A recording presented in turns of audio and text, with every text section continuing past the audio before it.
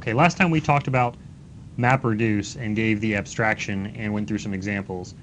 And we ended up on this slide, which is maybe the first time we've seen pseudocode or any kind of code that actually implements these map and reduce functions. And so I asked you to sort of take a look at this.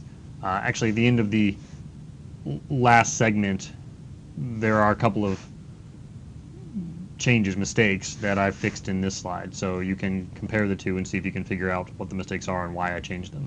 Okay, so so let's walk through this. So what does this code do? Well, as I sort of gave away last time, this implements this word count application that we went through schematically, you know, with, with cartoons, and you know, this is the pseudocode that actually implements that, or you know, an example of pseudocode that could be that could implement that.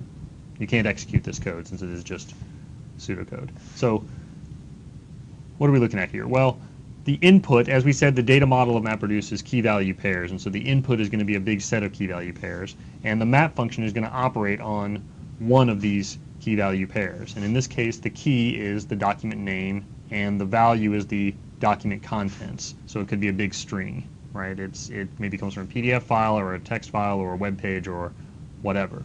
Okay, and so this code is pretty simple. It says, well, for each word W in the input value, so this sort of assumes that somehow you can iterate over all the words in the in the input value in the text of the document uh, without really specifying how. Then emit a key value pair where the key is this first element, which is the word, and the value is the number one. Okay. Then the magic shuffle phase takes over and groups all the key value pairs that that share the same key into a single group. And so all the occurrences of a particular word will show up as a group. And how that group is represented is as a key along with what we've called here an iterator over the intermediate values. And if you're not familiar with the term iterator, you can think of this as just a collection of values. Okay, so as an example here, if you have the word, you know, the map function will produce pairs like this, Every time it sees the word history in any document, it'll produce this. And then finally, on the reduce side, you'll have the word history here. And a sequence of number ones. Okay, and so what does this code do?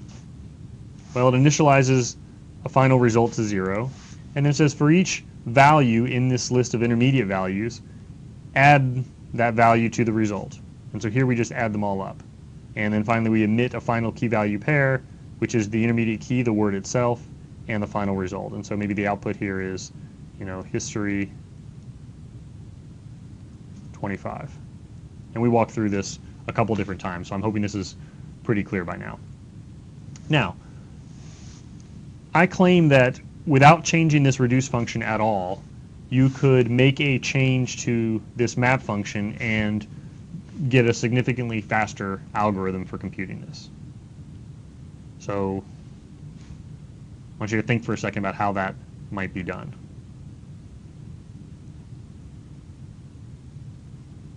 So the thing to look at here is that, oh, goodness,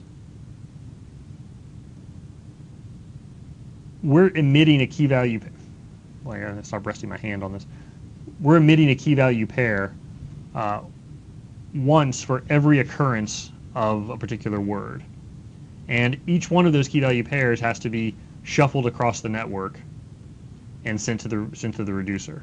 So if we see the word history 25 times in a single document, we're going to emit 25 key value pairs for that word, and they're all going to get grouped up by the shuffle phase. But we have access to the entire document here in the map, in, the, in this map function. So why not pre-count all the occurrences of those words and produce a different key value pair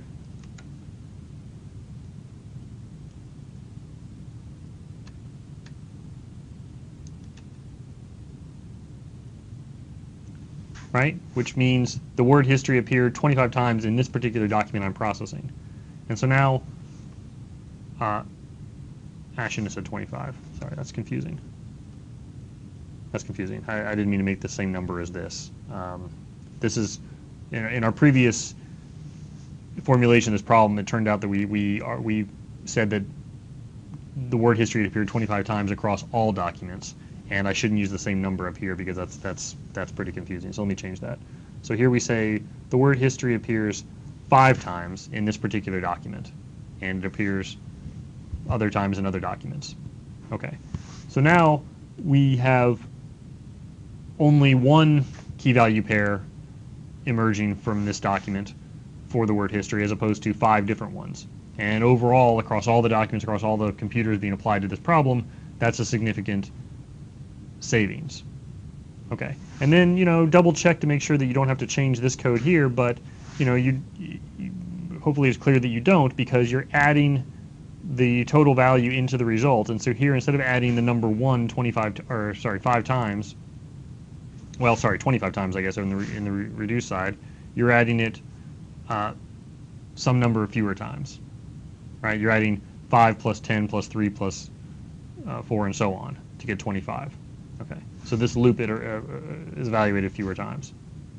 Okay, so the reason I want to go through that example is to demonstrate that, you know, there, there's two things. One is to try to think in terms of MapReduce and think about how you can cast a problem as operating on a bunch of chunks, emitting keys to, to define groups, and then operating on those groups. But also that, you know, you actually have a lot of control over the performance of these algorithms by just modifying the map and reduce functions right? So even though you aren't working on the system internals, you only have these two points of control, you can actually get very different algorithms, very different behavior, and different amounts of intermediate results being created, and so on, just from these two, two functions. And so you want to get a feel for not just how to express it in MapReduce naively, but also get a feel for how to do things uh, reasonably efficiently. And in fact, this example sort of demonstrates one of the things you're going to be looking for is uh, the bottleneck often, not always, is the amount of data going across the network. And so if you can reduce the uh, amount of output produced by the mappers, especially in terms of number of key value pairs, you'll tend to improve performance. Again, not always. And we'll see some more examples of this. Okay, so I'm going to stop there, and in the next segment we'll go through a variation of this problem that change that uh, um, has similar characteristics but really just to drive home how to design these map, map, MapReduce algorithms on slightly variant problems.